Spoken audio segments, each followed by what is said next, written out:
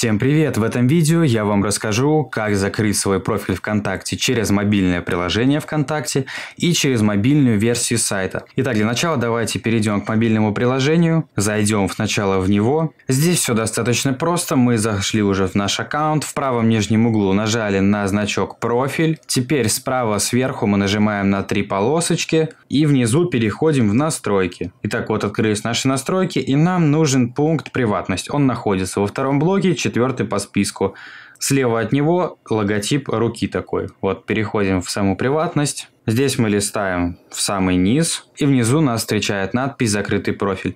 Если вы закроете страницу, она будет доступна только вашим друзьям. Итак, нам нужно перетянуть полнозок слева направо. Ваши записи и другие обновления страницы не будут доступны подписчикам. То есть ваш профиль закроется. Людям, которые зашли на ваш закрытый профиль, не будет доступна ваша стена. Они не смогут увидеть ваших друзей, ваши фотографии, новости и так далее. Максимум, что они смогут увидеть, вашу аватарку, как вас зовут и вашу фамилию. Также, если у вас с людьми, которые зашли на вашу страничку, есть общие друзья, они их могут посмотреть. Э, то есть людей, которые у вас в общих. Вот. То есть нажимаем кнопочку «Да», закрываем наш профиль. Если хотим обратно вернуть открытый профиль, просто перетаскиваем ползунок вправо. Прежние настройки приватности будут восстановлены. То есть наш аккаунт откроется, как был и ранее.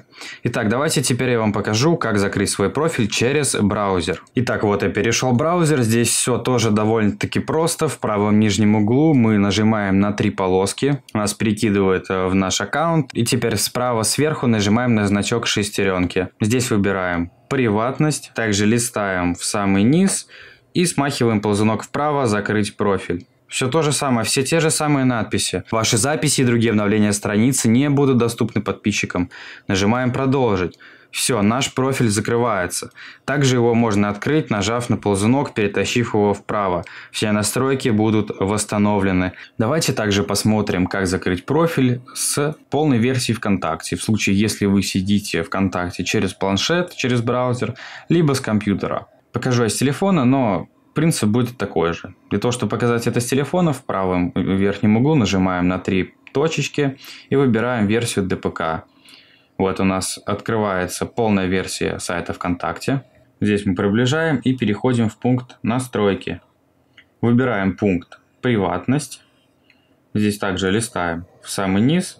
И самая последняя вкладка – это «Закрытый профиль». Вот здесь также ставим галочку, нажимаем на нее, у нас появляется такое же уведомление, нажимаем «Продолжить», и все, наш профиль закрыт. Вот опять пролистаем самый низ, и видим, что у нас стоит теперь галочка – о том, что наш профиль закрыт.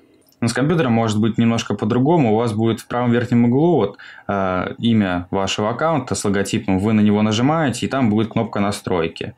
Вот. А дальше все так же, как я показал. Переходим в приватность, листаем в самый низ и перетаскиваем ползунок, либо на него нажимаем, чтобы он окрасился вот в синий цвет и передвинулся направо.